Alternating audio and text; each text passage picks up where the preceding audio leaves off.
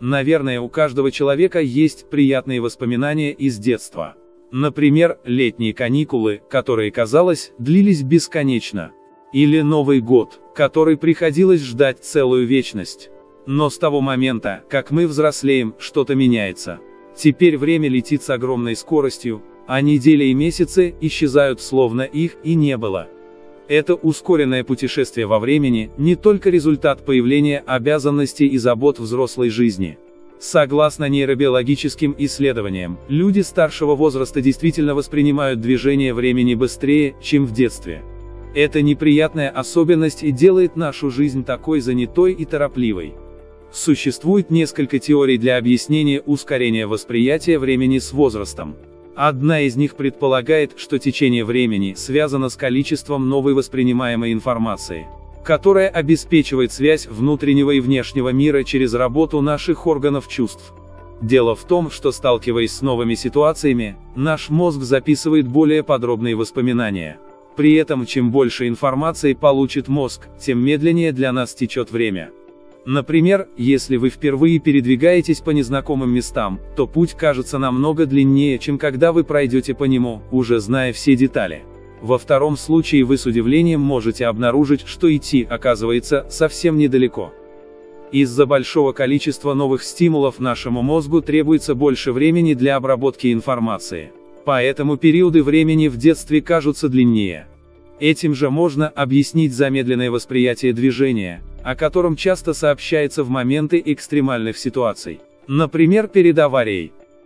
Незнакомые экстремальные обстоятельства для мозга означают, что ему нужно преобразовать и сохранить большое количество новой информации.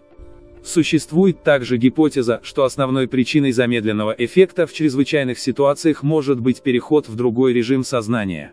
Поскольку есть много разновидностей измененных состояний, в которых течение времени резко замедляется. Так или иначе, но способность замедлять восприятие времени увеличивает наши шансы на выживание в экстремальных ситуациях, предоставляя больше времени для подготовки и реагирования. Стоит отметить, что ни одна из предложенных теорий об ускоренном восприятии времени не связаны с его реальным ускорением. Несмотря на то, что нам иногда кажется, что в сутках уже не 24 часа, а намного меньше, такое восприятие времени относится лишь к индивидуальным субъективным ощущениям. Тем не менее, согласно последним наблюдениям, Земля действительно стала вращаться быстрее. По данным Международной службы вращения Земли наша планета увеличила скорость, установив новый рекорд. В этом году было установлено, что Земля совершила оборот вокруг своей оси, на 1,59 миллисекунд быстрее. За точной продолжительностью суток следят с середины 20 века, когда появились атомные часы и было установлено всемирное координированное время.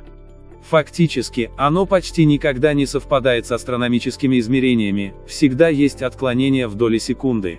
Причем ранее земные сутки становились длиннее, и с 1972 года к ним приходилось добавлять дополнительную секунду, чтобы привести стандарт в соответствие с реальной ситуацией. Но с 2016 года ускорение вращения Земли стало тенденцией, и у науки пока нет объяснений для причин этого феномена. Среди факторов, которые могут влиять на ускоренное вращение, называются глобальное потепление, таяние ледников в полярных зонах и распределение масс, а также чандлеровское колебание, колебание оси вращения Земли относительно ее поверхности. Если планета продолжит ускорение, то в 2026 году разница приблизится к критической и составит 0,9 секунды. Это, вероятно, приведет к тому, что впервые в истории нам придется убавить суточное время на одну секунду.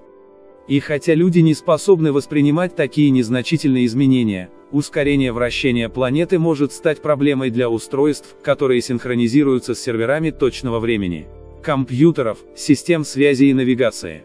Например, разница во времени всего в половину миллисекунды, даст отклонение для спутника GPS на экваторе в 26 сантиметров.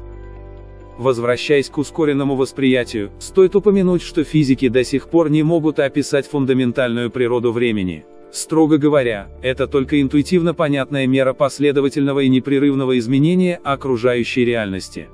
С 1905 года, с появлением специальной теории относительности Эйнштейна, Стало понятно, что категория времени связана с пространством, и изменяется в зависимости от относительного движения, или гравитационных сил объектов внутри него.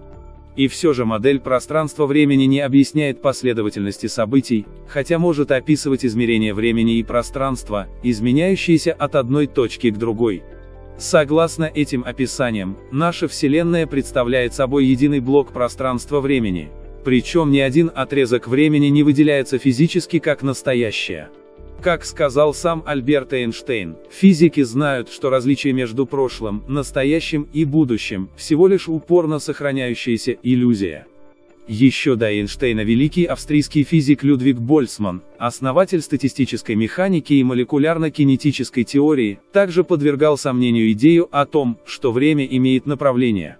Для Вселенной два направления времени неразличимы, так же как в пространстве нет верха и низа. Тем не менее для человека категории прошлого и будущего тесно связаны с понятием времени.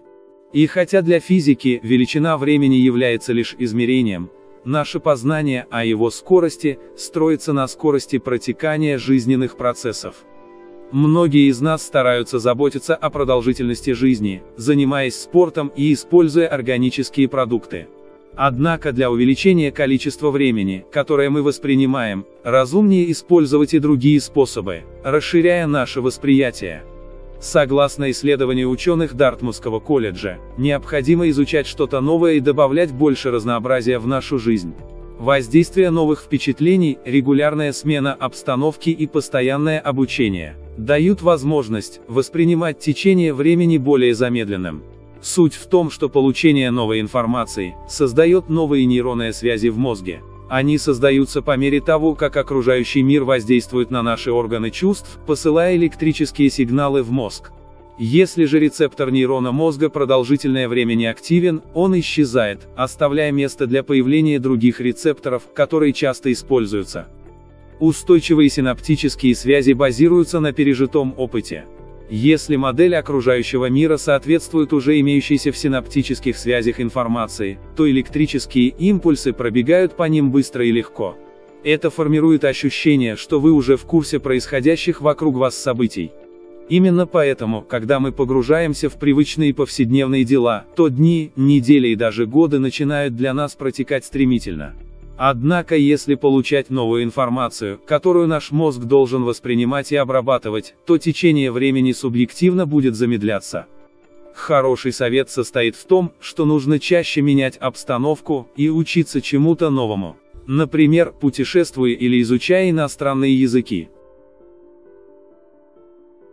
Если вам понравилось это видео, пожалуйста, поддержите нас лайком, и подписывайтесь на канал, впереди еще много интересного. Помочь проекту и пожертвовать любую комфортную для вас сумму, можно нажав на кнопку «Спонсировать» под любым из видео нашего канала, или перейти по ссылке в описании. Приглашаем вас поделиться своим мнением в комментариях под этим роликом, а также заходите в нашу группу ВКонтакте, в Телеграм и в Инстаграм.